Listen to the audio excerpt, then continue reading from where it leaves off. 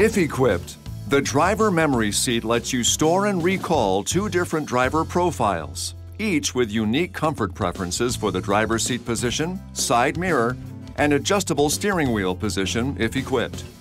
It can even recall each driver's radio station presets.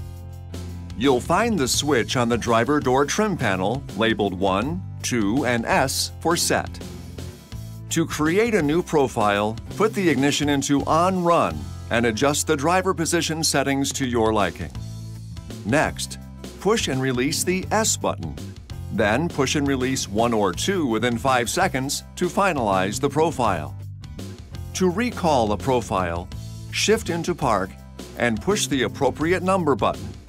You can also link each profile to a key fob so that each fob automatically recalls a specific memory profile anytime it unlocks the door.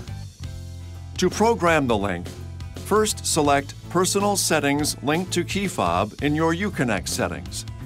Then, cycle the ignition off. Recall the memory profile of your choice, 1 or 2, then push and release the S button. Within 5 seconds, push and release 1 or 2. Memory profile set 1 or 2 will appear in the instrument cluster display. To finish, push and release the lock button on the key fob within 10 seconds.